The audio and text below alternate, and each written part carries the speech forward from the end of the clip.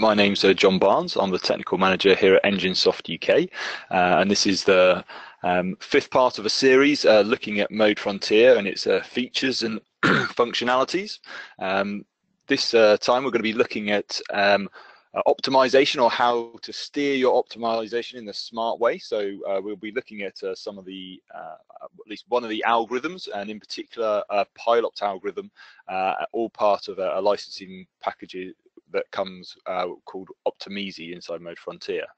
Um, so what we're going to do today is, uh, if my screen goes on, uh, is go through this uh, uh, agenda. I just want to give you a brief introduction to Mode Frontier, um, some uh, introductory notes just on the algorithm pilOPT itself, uh, we'll do a case study. We'll get Mode Frontier open and have a little look at uh, how uh, pilOPT works and some of the results that it can produce.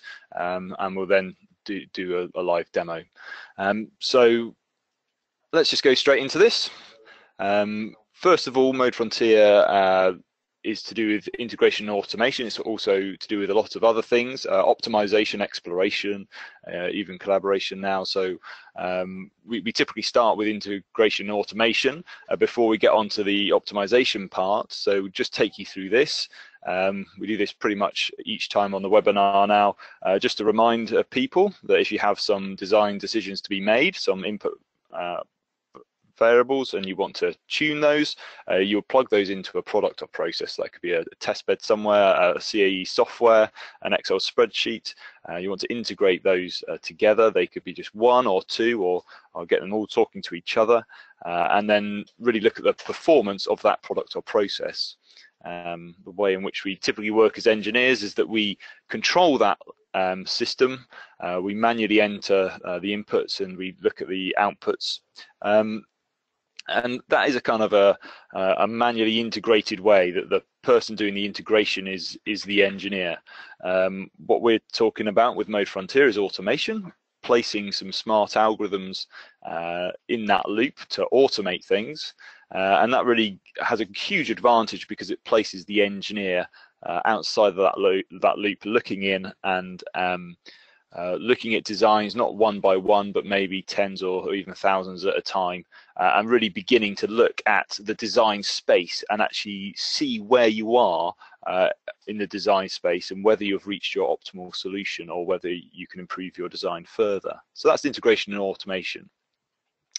Um, but once you've integrated and done the automation those uh, algorithms um, are quite important of, of how you achieve that uh, solution.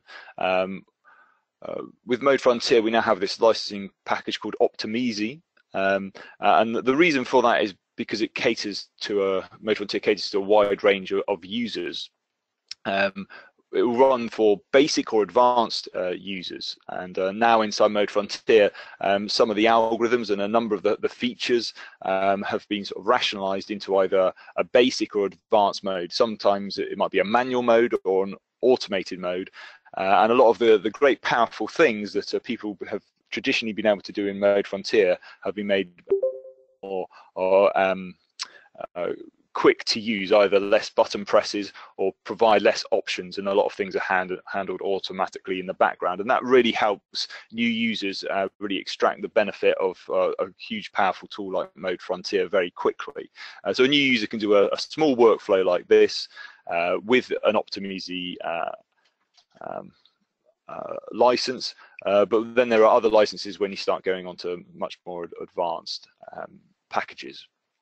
Um, but as part of that Optimeasy package, um, uh, there's a licensing strategy that really uh, gives you the, the, the best optimizer possible, the, the most robust one that is on offer with Mode Frontier called called pilOPT, uh, and it really reduces uh, the number of options given to the the user. Um, uh, so what is pilOPT? pilOPT itself is a proprietary algorithm uh, created by uh, the Esteco numerical team. Uh, it's uh, a one-click optimization experience. Uh, the whole purpose, as I said, is is to um, uh, hopefully not confuse the user.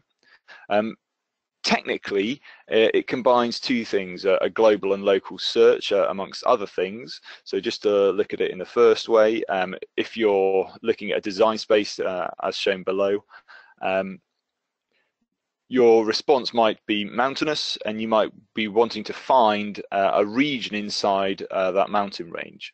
Uh, you, you're looking for a single peak or a region that you're interested in, uh, but you haven't fine-tuned it right to the top or, of that peak or that location.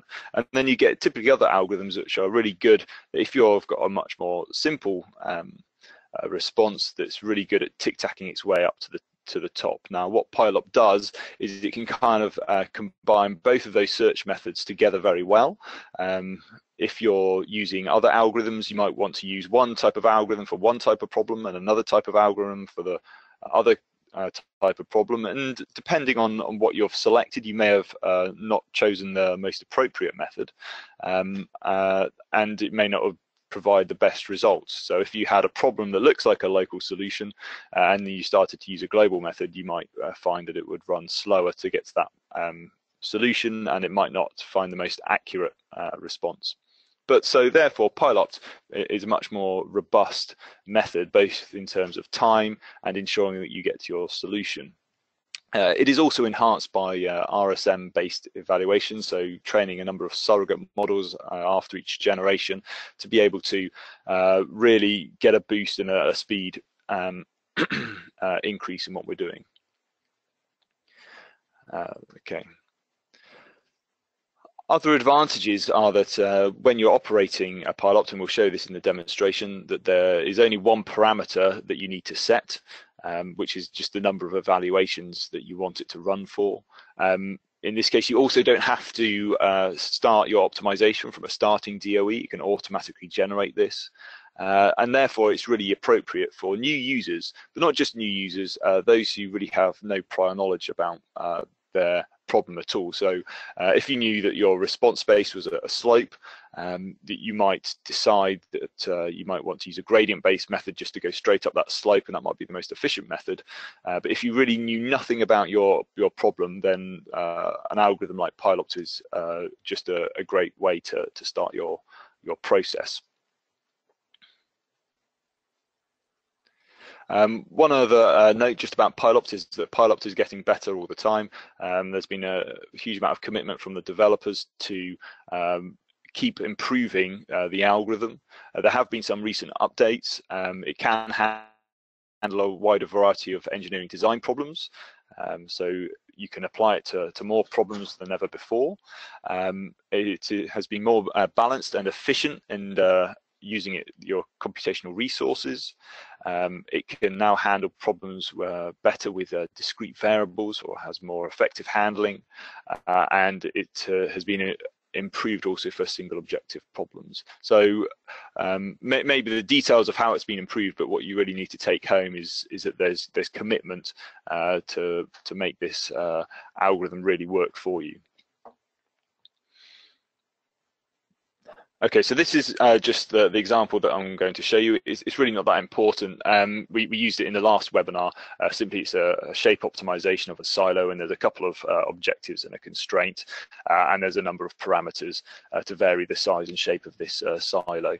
Um, but this isn't probably the most important thing for this demo. So the most important thing is really to get to the um, demo itself um, Mode Frontier workflow, again, I won't go into the details of how to build this up. We did this uh, last time, um, but these two nodes are the important area this week, which is on the process uh, line. Uh, we have our design of experiments uh, and our strategy that we can set. Um, so if I just go into the um, uh, scheduler node, uh, just to be aware that obviously Mode Frontier has a, a wide range of algorithms that could be used.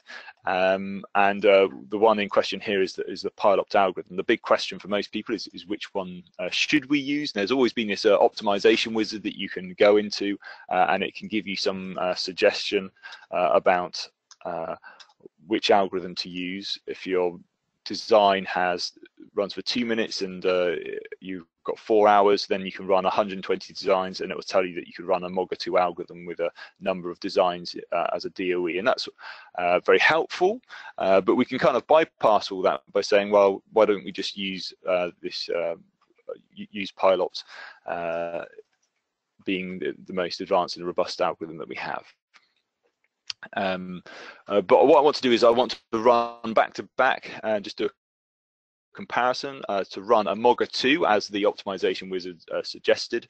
Um, uh, run that for 120 designs and then also run uh, pilOPT for 120 designs uh, and really compare them and then see if we can actually run Pilot with fewer designs and still get a, a better result. So um, we'll do that. Um, just also notice that uh, inside Mode Frontier, we also have this basic and expert. So again, as I said before, um, we're, we're, trying to uh, make things um, more straightforward for the user. Uh, so simply fewer points if you're uh, a new user. If you really do then want to go into um, exploring um, the, the, different parameters that you can tune, you can go into expert mode. Uh, but the good thing about pilOPT is that whether you're in basic or expert mode, there is only one uh, parameter, which is how many designs do, do you want to run. Um, when you select a, a pilOPT and you click OK, you would notice that uh, the cross on the DOE node actually disappears because uh, pilOPT itself will automatically generate its own DOE for you. So the user doesn't even have to think about that. But if you were to go to Moga 2 and certainly have it in manual mode, uh, you would then have to define a DOE, otherwise there'll be an error. So um, I'm not going to go and run these and uh, wait for the results to come back. Uh, I think we'll go straight to the design space to see what results have already been generated. And I've got a number of tables. I've ran uh, the optimization. So it's a optimization with two objectives. Um, and uh, let's first of all um, just have a, a, look at the comparison uh, of the results. So if I was to click on my comparison table, um, whoops, and select um, min stress and min mass and put that against the ID. Uh, then I can plot all of the design points on the comparison table. Now this comparison table has uh, categories for um, the Moga 2 algorithm. There's some designs in here for pilOPT uh, with 80 designs and then pilOPT ran with 120 uh, designs. And they each have their own color. Now I believe if I click here and turn on uh, paint categories. We'll get a color for each one of the categories. So the, the red one is the, the Moga 2 algorithm. Uh, orange is the pilot with 80 designs and uh, uh pilOPT with 120 designs is the green. Um, I can also turn off the unfeasible designs uh, just so that we're left with uh, all those that have satisfied the constraints because we have um, this particular constraint on the um, deformation. So this is all the these are all the feasible designs. So first thing to notice is that um, uh, Moga 2 um, with 120 designs, it's managed to uh, push the solution to uh, the Pareto front region down here. Um, but notice how it compares to the uh, other uh, three uh, optimizations. Maybe it's just uh, worthwhile um, plotting uh, the Moga 2 on its own. Maybe that's the clearer thing to do. So with Moga 2 on its own, with the feasible turned off, the unfeasible turned off, we can uh, look at the Pareto front, right click, mark the designs, uh, and we have one, two, three, four, five optimal points on that design because we're trying to get down to this utopian point down in the bottom left hand corner of minimizing the stress in the max. So this becomes our front. Now, when we overlay it, then suddenly we get these designs seem to um, dominate all the other designs. So that's the pilot with 120. Uh, with 120, um, really we're looking at like for like um, comparison between pilOPT to Moga 2. Okay, can we get a, a, better solution with the same number of designs? And we can clearly see that there's many more points down here. It's more populated than the, the red designs. Um, but then when we run the pilot with uh, 80 designs, then okay, we're giving Pilot fewer points uh, to be able to hopefully get to this this region. We can see that with the orange designs, it has populated uh, the Pareto front region in, in this region, but it hasn't been as broad and as wide as 120 because you wouldn't expect it to um, perform as well as one with more designs in it for, for the, the, same algorithm. But maybe the nice thing to do here is if I go and say mark um, all the Pareto designs is to then uh, create a table of all the points um, uh, that are on the Pareto front and see which algorithm they come from. So if I then go back to this table and then select those marked designs and then click create table,